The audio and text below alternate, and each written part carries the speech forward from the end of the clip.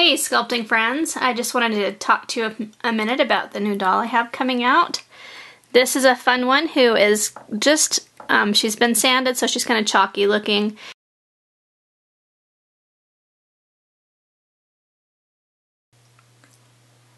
So you might have heard never put baby oil on your clay. And while it is unbaked, that is absolutely true because baby oil will eat away at the clay.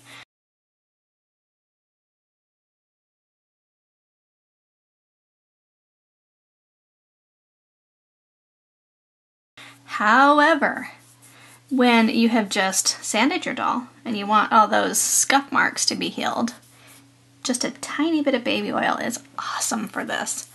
You do just a little bit. Like I always rub it on and then rub away um, all the baby oil. Mostly that's because it's going to kind of seep into the doll and it will just take a long time if you have a lot. And it goes much faster if you just have a small amount. But you can see how when I apply it to this leg, it just takes her from the state of being all chalky and funky looking to just more normal looking. See, here's chalky, here's normal. So we'll do it again on this other leg. Just a touch of baby oil. And it looks so much better. Yay. Need to do her shoulders, etc.